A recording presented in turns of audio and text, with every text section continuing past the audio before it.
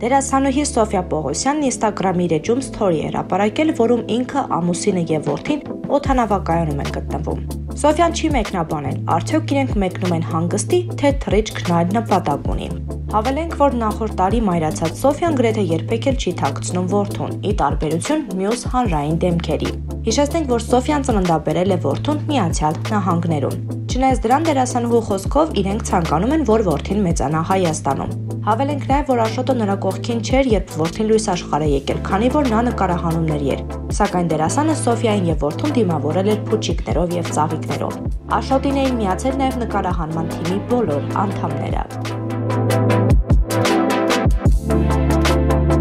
Բաժանորդագրվեք մեր ալիքին սեղմ մեկ զանգակի վրա, որպիսի առաջինը դուք տեղեկացված լինեք վերջին եւ ամենաթեժ լուրերից։